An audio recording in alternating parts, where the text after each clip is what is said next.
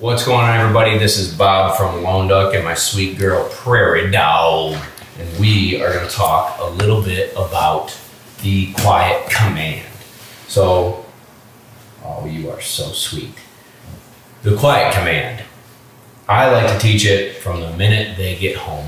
Okay, brand new puppies when they come home, they're missing their litter, they're missing their environment, they don't know where they are, they're stuck in a crate, all these new things, and so let's be honest, some of them whine, some of them bark, some of them bark all night.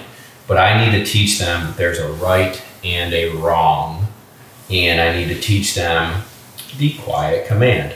So, what I've been doing with a little baby, it's the same for me as like a, a no bite, right? So just take it as no bite. So I'm gonna go in their crate, I'm gonna grab them, I'm gonna tell them quiet, quiet.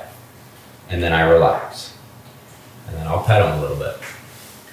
And if they whine a little bit more, bang, quiet, quiet, quiet.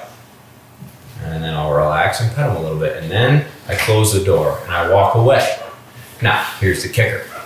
You, my friends, have to be super, super disciplined and what's the other word? Consistent.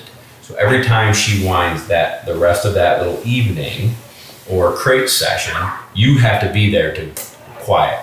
So, for instance, our room, our bedroom is back here. Sometimes, if we're busy making dinner or we're on the phone or something's going on and we need her out from underneath our feet, we can't watch her and make sure she's not getting into trouble, we'll put her in a crate, but she can still hear us out here. And you bet your bottom dollar, old prairie dog likes to be with us. And she'll be like, we'll walk inside, will I'll actually take like my baseball hat or just tap the crate, quiet. That's enough, quiet. And she'll look at me and she'll be quiet. Five minutes might go by and she'll do it again and I'll walk right back in there. And if I let it slide, then I just gave her gray area. It's okay right now, but it's not okay at other times. So I'll need to be super consistent, super on top of it. You can do the old muzzle trick. You can do the old tap it on the crate, tell them quiet, but you're giving a command and doing something to the puppy that's teaching them this is not as great as this. Okay? So, quiet command, teach that puppy to be quiet. This is also, a little side note, bonus segment.